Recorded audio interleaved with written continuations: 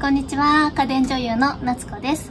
今日はベランダ時間を楽しくする家電を3つご紹介していきたいと思います。そして家電以外にもベランダに取り入れて快適になったグッズをいろいろご紹介していきたいと思います。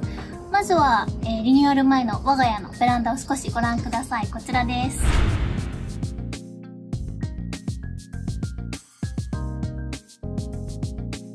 人工芝の長さは少しあのちょっと足りてないのでまだ敷き切れてないんですがまああのネットでの評価が高かったこちらにしました。概要欄の方にも記載しておくのでぜひ参考にしてください。さて本題の家電の方に移りましょう。まずはこちらのバルミューダザスピーカーをご紹介します。バルミューダといえば美味しく仕上がるトースターとかめちゃくちゃおしゃれな扇風機とかが有名かと思います。そんなバルミューダがなんと、こちらのおしゃれなスピーカーを発売しました。発売は6月下旬なのですが、まあ、バルミューダさんにお願いしてお借りして一足先に1ヶ月ほど愛用してみました。なんといってもこの円柱形の形で内部にこの感じで真空管のような LED が搭載されている独特のデザインが特徴です。その LED が流している音楽と連携して光の演出を一緒に楽しめるところがポイントです。光の演出は音に関係なくこんな風にゆらゆらと揺れるキャンドルモード。そして音楽に合わせて優しく光るアンビエントモード。音楽に合わせてやや激しめに光るビートモードの3つを搭載しています。価格は3万2000円と、まあ、Bluetooth のスピーカーとしてはややお高いんですけれども、実際に見てみるとすごく高級感がある質感だし、デザイン的にもなんかこう今までになかったおしゃれなデザインだなって思います。約2.5時間の充電で7時間コードレスで聞くことができます。重要な音質についてなんですがここからここにあのスピーカーがついているんですけれども本体を中心に丸く音が響く感じがするんですね。曲が立体的に聞こえてくるからこそ今まで何百回何千回と聴いた曲でもこう新しい発見があってそれはすごくなんかこうこれまでにないスピーカーだなって思いました。私が大好きな今和の清志郎さんとか矢野明子さんのこう力強い歌声もすごくこうなんでしょう繊細にクリアに聞こえてくるのですごくなんでしょうねエモみを感じることができました。この時期ライブに飢えている方はこの光の点滅がこうライブの演出っぽさも兼ねているのでライブのこう独特のノリだったりムーブメントを感じることができるんじゃないかなって思いました。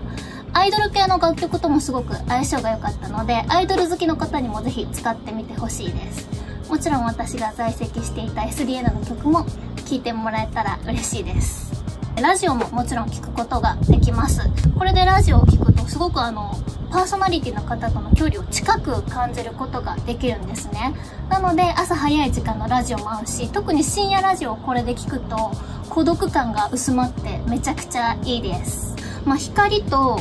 音楽を一緒に楽しめるという意味ではすごく新しい感覚を味わうことができる Bluetooth スピーカーなのでこれまでのスピーカーに飽きてしまったという方には特におすすめしたいのがこのバルミューダザスピーカーです。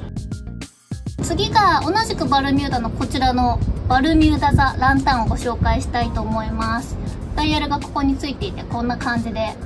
結構繊細に調整することができます。これは先ほどのスピーカーと比べてあのスピーカー機能はない純粋な LED ランタンですね。価格は13,800円。でバッテリー内蔵でポータブルとして使うこともできます。専用のコードもついているのでもちろんコードを使って使うこともできます。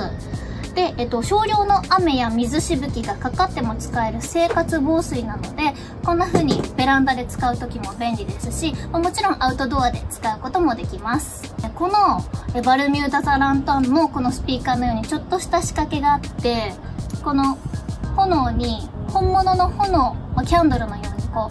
う、揺らぎを与えているところが特徴なんですね。この揺らぎがあるかないかだけでその使ってる時のリラックス度合いって全然違って本当にわずかなんですがこれがこう点滅して揺らぐのでこれで本を読んでいたり、まあ、こんな風にあのベランダでリラックスしているとこの光によって本当に癒されることができます、まあ、色もその温かな黄身がある感じからこの白いやつですね。これだったら読書とかもできるし、まあ、普通にパソコンで仕事とかする時もこの色味で使ってます。私個人的にはこんな風に屋外で使う場合でも屋内で使う時もそうなんですけど、今の自分の気分と光の感じをこうマッチさせるの結構こだわりがあってやっぱりすごく疲れてる時って強い光とか見たくないんですよね。逆にすっごく仕事頑張ろうっていうこうポジティブな気分の時に淡い光だとちょっとやる気が薄まっちゃうしそういうなんでしょう光に対してこだわりがある私のような方にはこのバルミューダのランタンはすごく繊細に調整できるのでおすすめです。で私はこのホワイトを使ってるんですがシックなブラックもあって公式のオンラインストアでは限定でグレーもあることを最近知りました。このグレーもめちゃくちゃねデザインが可愛いんですよ。これベランダで使った後は指1本でも持ち運べる軽さなので寝室に移動して使ったりしてます。リビングでも使ってるのでそうですね。言うなれば本当に一日中このランタンと一緒に活動している感じです。そしてラストはブルーノのコンパクトホットプレートです。ちょうど今お気に入りの餃子を焼いていました。こんな感じで A4 サイズでコンパクトなのでこんな感じでベランダで使う時にもめちゃくちゃ便利です。A4 サイズのコンパクトさを持ちながら1人から3人用ぐらいのお料理が大容量で作れるんですね、まあ、こんな感じで餃子もかなりぎっしり入ります。であの私が使っているブルーノのホットプレートはこの平面プレートと合わせて少し深みがあるこんな感じのお鍋も付属していました。モデルによってあの付属しているこのプレートだったりとか違ってくるし別売りでもいろんなタイプのあのプレートがついてくるので用途に合わせて選んでもらえたらと思います。もうなんといってもねこのレトロな色味とデザインがめちゃくちゃ可愛いんですよね。あの操作性もかなりシンプルですしで可愛いだけじゃなくて加熱力も結構あって250度まで、えー、熱を調整できるのでかなり火力もしっかりしてるんですよね。それでいて、まあ、価格帯が約1万円前後とめちゃくちゃリーズナブルなので本当にこれおすすめですね。あとはカラバリもこれめちゃくちゃあるんですよ。もうものすごい種類カラーがあります。私は王道の赤にしたんですが他にも膨大な量あるので皆さんぜひあの好みの色を探してみてください、まあ、ベランダで使うなら手頃なカセットコンロタイプ式のものを使えばいいじゃないかという声も聞こえてきそうなんですけれどもどうしても私なんかこうちょっとカセットコンロタイプ式のものを使うのがね慣れてないので怖いんですよね。なので、まあ、もちろんこれコードは必要になってきちゃうんですけど私みたいな方にはぜひこれ軽いですしコンパクトですし、まあ、火力もパワフルですしこのブルーノのコンパクトホットプレートを使ってみてほしいなって思います。はい。というわけで今回は、えー、ベランダで過ごすベランピングに快適なおすすめのグッズとおすすめの家電をご紹介していきました。